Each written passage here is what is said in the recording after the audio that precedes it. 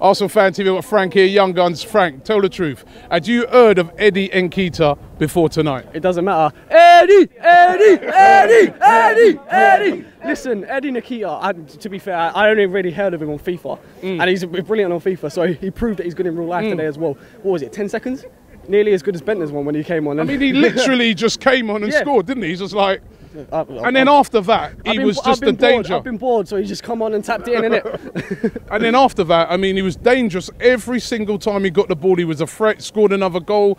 Could have had a hat trick. Was Yeah, he, he was was? it's with that, just yeah. everything you wanted from a substitute at that stage of the game. Super sub. I, I'd start. I'd put a minimum put him on the bench against Manchester City. Minimum. The overall performance of the team it was a bit lackluster today. poor. It was like watching paint dry in the first half, Mm. and then second half was hardly better. But Nketiah come on and changed it. So Mm. a Thierry Henry esque. Yeah, someone just said it. Thierry Henry esque from Eddie Nketiah.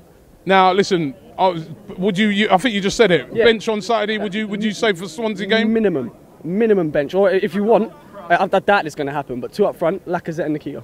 Why not? Why not? Get a bit carried Why away not? now. But it's- you got to at least try, innit? And, Try. and to be fair, some Akpom came on as well. I thought he, he played pretty well as well. The youngsters tonight, they stood up, didn't they? Most of them. They showed the older older players up today. I think Mm. the youngsters did really well. Um, of course, Nketiah Akpom. I didn't. I, I think he went under the radar a little Mm. bit in recent years, but he showed that he's still got the potential that we all once had for him in this game. Brilliant, man. Nice one. The Ultimate Football Fan is now here. Listen, if you want the best content, things like Blud Bruvvas, exclusive content, only here from Arsenal Fan TV, You've got to check out the Ultimate Football Fan. Go to the Indiegogo link. Be one of the first to get on board with this. Arsenal Fan TV are live on here. Ultimate Football Fan.